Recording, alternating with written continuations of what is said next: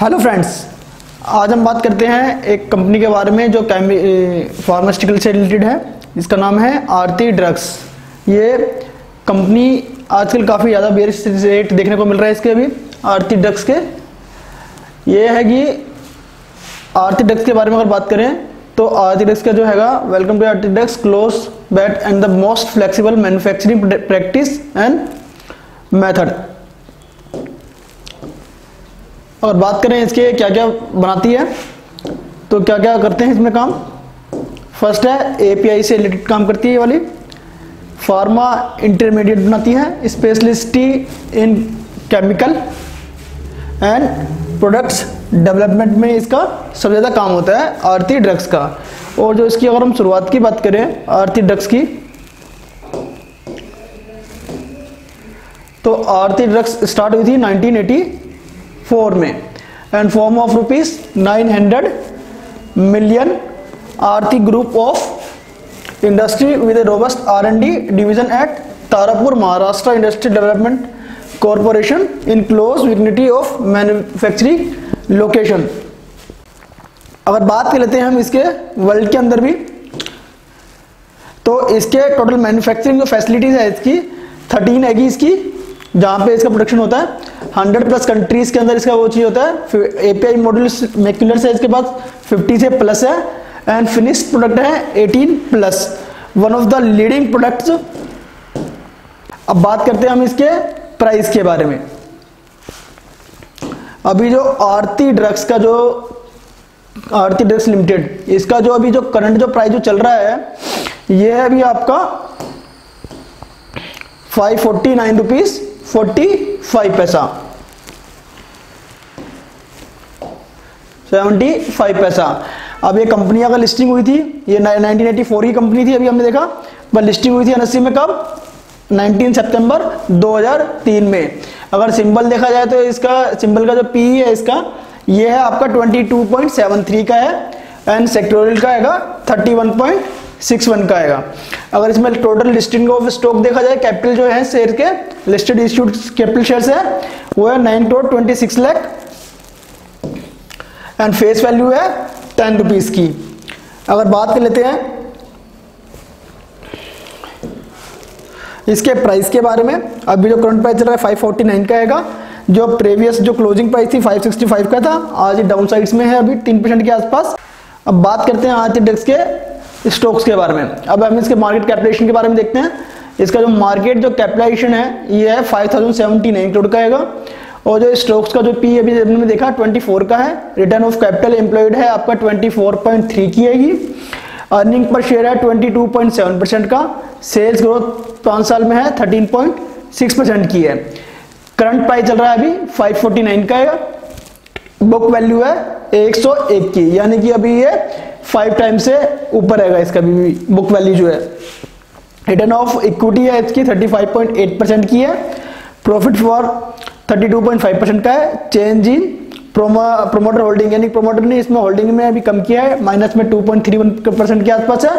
अगर एक साल के अगर हाई और लो के बारे में बात करें तो 52 वीक लो है इसका 484 का। एंड जो हाई है इसका 842 का है इसका भी। और डिविडेंड यील्ड है इसकी 0.46 परसेंट के आसपास है। और फेस वैल्यू है इसकी टेन रुपीज़ की।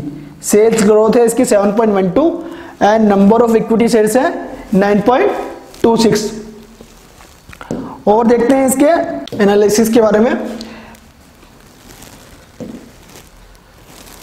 Company has delivered good profit of 32.48% CAGR over last 5 years and company has a good return on equity.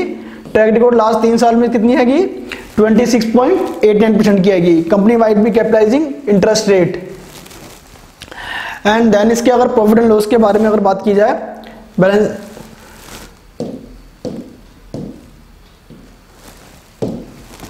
जो इसका सेल्स के ऊपर देखते हैं, जो पहले जो 2007 में जो इसकी सेल्स थी वो 289 करोड़ के आसपास की थी, जो बढ़ के अभी जो इसकी जो सेल्स हुई है 2021 में 2155 करोड़ के आसपास की अभी तक इसकी सेल्स हो चुकी है, यानी कि मार्च 2008 में तीन सौ बारह करोड़ की थी, मार्च 2009 में तीन सौ बयासी करोड़ यानी कि दालसा इसकी सेल्स में काफ़ी ज़्यादा बढ़ोतरी देखने को मिली है अभी फार्मास्यूटिकल सेक्टर में।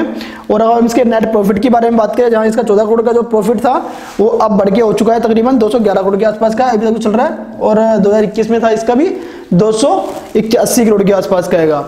ओवरऑल देखा जाए तो इस स्टॉक में कोई इतनी वो चीज़ नहीं है बट ये भी काफ़ी ज़्यादा ओवर वैल्यूड पर भी काम कर रहा था। और हम इसके रेसोर्स के बारे में देखते हैं। जो इसके जो डेटस डेज़ हैं, वो 99 डेज़ के थे पहले, और जिसने डेटर डेज़ काफ़ी कम किए हैं 94 में है, मार्च में अभी भी। और इन्वेंट्री डेज़ जो है, इसकी रिटर्न ऑफ़ कैपिटल एम्प्लॉयज़ है 11 परसेंट के आसपास की है, और इसकी थी अभी आपकी 34 परसेंट के आसपास की है। अब बात कर लेते हैं इसके इन्वेस्टर रिलेटेड अभी जो इसमें कौन कौन से लोगों ने क्या क्या इन्वेस्टमेंट किया है प्रमोटर के पास कितनी होल्डिंग है इसकी? अब प्रमोटर की अगर होल्डिंग के बारे में अगर हम बात करें तो पहले जो प्रमोटर की होल्डिंग थी 62 परसेंट की थी, वो रेड्यूस की है ढाई परसेंट के आसपास। अब 60 परसेंट के आसपास की इसमें प्रमोटर के पास इसकी होल्डिंग है। और एफ़ के पास जो होल्डिंग है इसकी, ये है 2.1 परसेंट के आसपास है। काफ़ी कम होल्डिंग देखने को मिलती है। एफ़ के पास इसकी एंड डी के पास इसकी जो होल्डिंग है, ये है 2.12 के आसपास। एंड पब्लिक के पास जो है, वो है 36 परसेंट के आसपास इसकी होल्डिंग है अभी भी। अगर हम चार्ट में देखें तो जो इसकी जो फेस वैल्यू थी वो सौ रुपए के आसपास की बताई थी मैंने आपको आपको एक सौ एक रुपए के आसपास की फेस वैल्यू थी। अभी 2020 के आसपास, जब ये कोरोना आसपास में आया था तो इसकी वैल्यू सौ रुपए के आसपास का ही रेट था उस समय।